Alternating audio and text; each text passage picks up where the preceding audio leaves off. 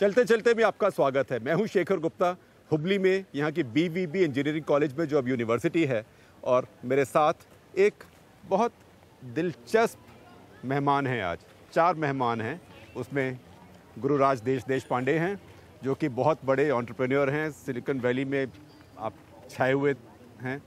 बहुत आपने पैसा बनाया और उसके बाद आपने सोचा कि सारा जीवन आपका सिर्फ़ भलाई में या चैरिटी में या फिलेंथ्रोपी में लगाना है। और फिलेंथ्रोपी में आपकी दिलचस्पी ज़्यादा उद्यमी लोगों को बनाने में है प्रॉब्लम सॉल्विंग में है, समस्याओं को हल करने में है। आप श्रवणी पवार सिर्फ़ उनतीस साल की और आप इस बात का उदाहरण है कि जो आप करना चाहते हैं वो संभव है, क्योंकि इतनी छोटी उम्र में और बहुत बेसिक एजुकेशन के बाद में आपने एक बहुत अच्छा बिज़नेस सेटअप किया है। तीन करोड़ आपका टर्नओवर हो गया है। जिसमें देश पांडे फाउंडेशन ने मदद की। और ये आपके दो क्रिएशंस हैं क्योंकि आप विमेन एम्पावरमेंट कर रही हैं और विमेन सिक्योरिटी गार्ड्स को ट्रेन कर रही हैं। कितने गार्ड्स को अभी तक आपने ट्रेन किया और नौकरी दिलाई? अभी हमने ट्रेन किया है सेवन हंड्रेड प्लस अभी हमारे पास फ़िलहाल four hundred plus on roll है। हाँ। और आपका नाम क्या है? सुमंगला। और आपका?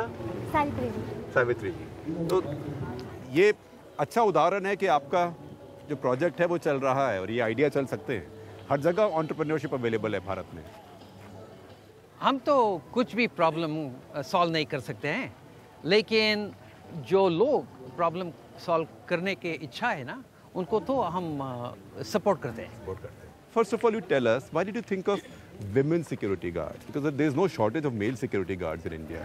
I wanted to make in something innovation because I had uh, many ideas before starting Safe Hands, like giving training on agarbatti, kasuti, and fancy. Safe Hands is your company and your Yes. brand name. I see Safe Hands 24 into 7. 24 into 7, that's come from NDTV.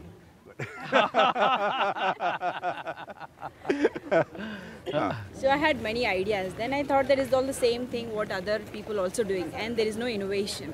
So I thought let me bring something, you know, which where the women is not existing. So I thought the women can be a good security guard in the industries. Hmm. So I thought this will, you know, fill the gap because many clients will prefer to have a lady guards, especially in the hospitals, school, colleges, and apartments, and hmm. ladies hostels. I Right. thought there is a demand and uh, there is no supply. We thought this is a good opportunity for the business as well, and this is a good opportunity for the women to come in the do- male-dominated profession. And you started that at 23 years of age. Yeah. So, what made you think of becoming entrepreneur at 23 and what took you to Mr. Deshpande?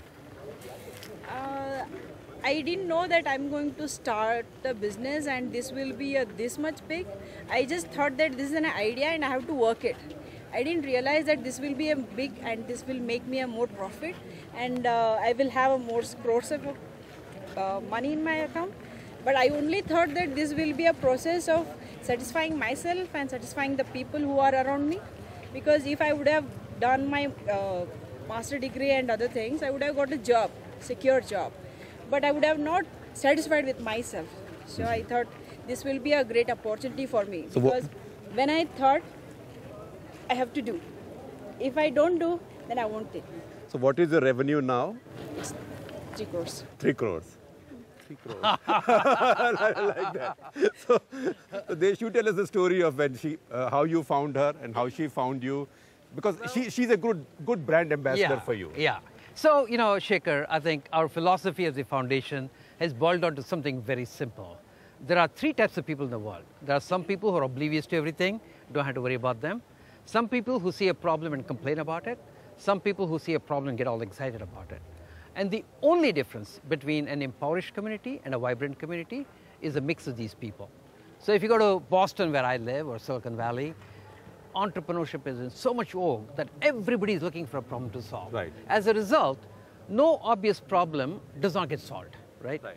Impoverished communities, people, you know, problems become chronic, they get stuck, and then they and then you, you, become, you become resigned to them. Yeah, and then you become a victim. Right. And so what happens is that uh, they just choose to complain. Right. And so all the programs that we do in the sandbox Right. is to encourage people to become problem solvers as opposed to complainers.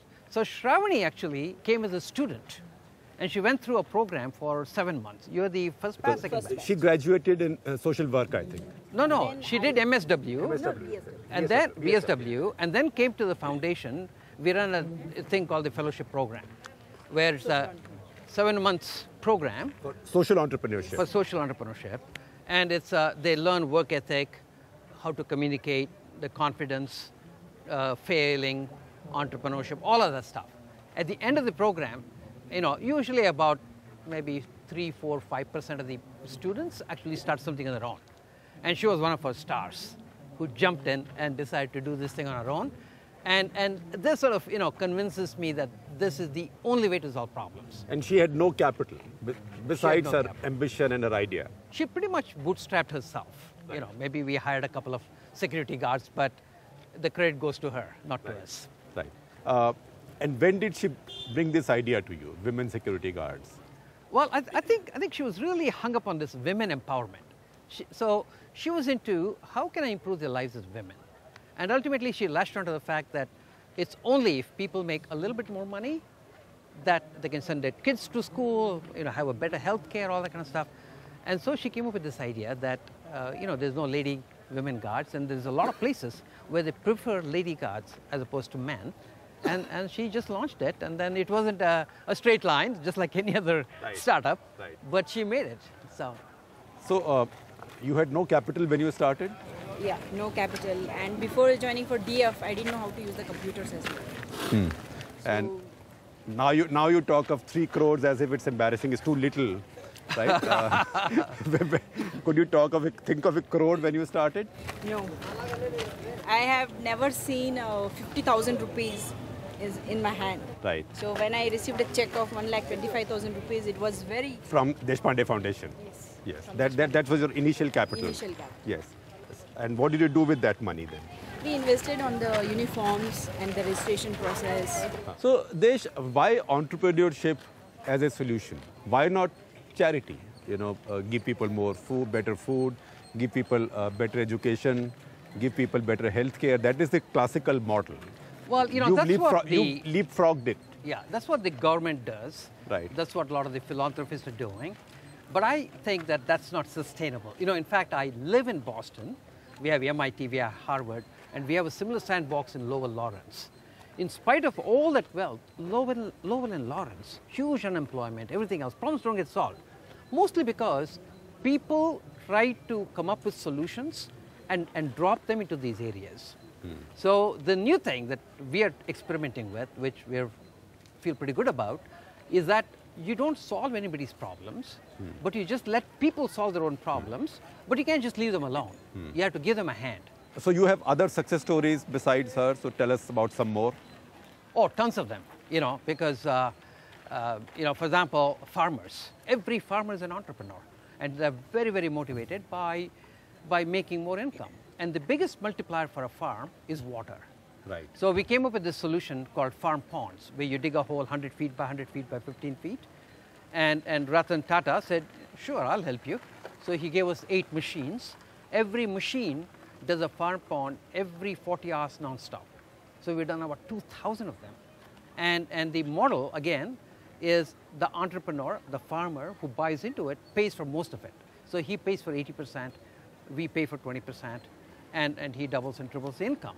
And so once you get their buy-in, after that, they want to do more and more of it. So Right. now we're introducing papaya and bamboo, all kinds of stuff in agriculture, Right. health, education, livelihood.